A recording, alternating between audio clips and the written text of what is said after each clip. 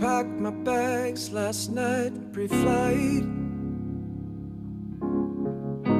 Zero hour, 9 a.m. And I'm gonna be high as a kite by then.